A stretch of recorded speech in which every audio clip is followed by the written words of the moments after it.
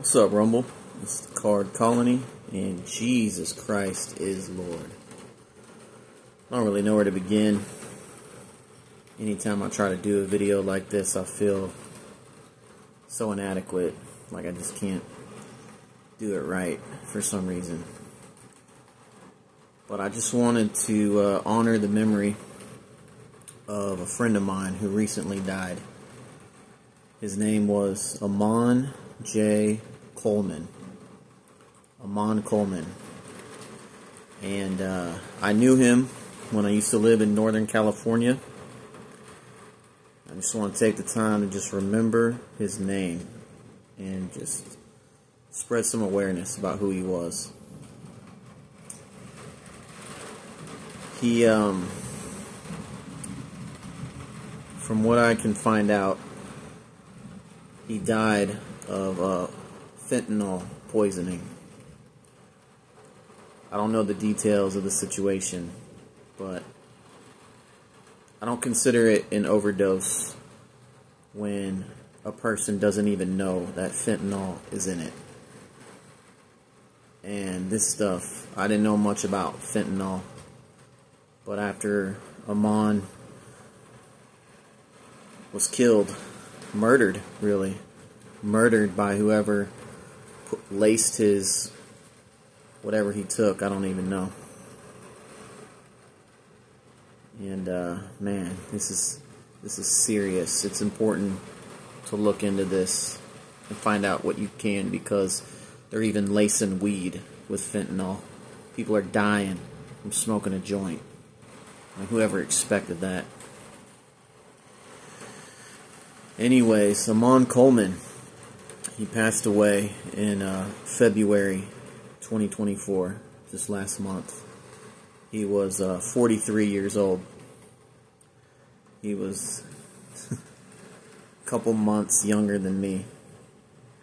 And I knew him when I used to live in Northern California.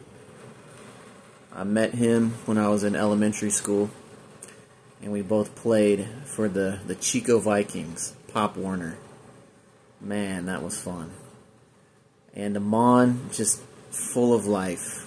Uh, on the football field, he was tough. Man, he was fast. He was so hard to tackle. He was the hardest person on the field to tackle. He jukes. I mean, we'd be standing still, not running, standing still, right in front of me. Could barely tackle him. And uh, he just he was full of life. And he just had such a magnetic personality. Super talented. So we only played together one or two years, and then I think he tried out playing for the Chico Cobras, which was the other Pop Warner team. Uh, we reconnected in junior high and hung out, and uh, in high school as well. And Ammon, I mean, he he was a bit of a wild one, as was I at the time. And uh, man, he was so talented. I remember we were hanging out. I think it was like my freshman year in high school, and I heard him rap, and it was the first time I'd ever heard anyone rap that wasn't like on an album. And he sounded so good. He was such a natural. It just, I don't think he realized how impressed I was. He was the first person I ever heard rap. And then years later, I went on to rap for many, many years. But he was the very first person I ever heard that was really good. And uh, he was just talented. He was talented. He was outgoing. He was tough. Oh, I think he thought I was tougher than I really was. Because I knew for a fact Ammon could stomp me in a fight. he was just strong and tough, and I would never want to fight him on. But that, not that ever even came close to happening in the first place but he was tough, man, and uh, he was talented, and he was just so bold. Man, he was bold, and he was funny, and he was just like the center of attention and didn't even know it. He wasn't like someone trying to be the center of attention or trying to be outgoing or trying to be popular. He just was. Like, that was my perception of him. He just had so much uh, charisma and personality. And uh, I was just happy to be his friend and not his enemy. Although he didn't have many enemies. A lot of people liked him on. He was just cool, open minded.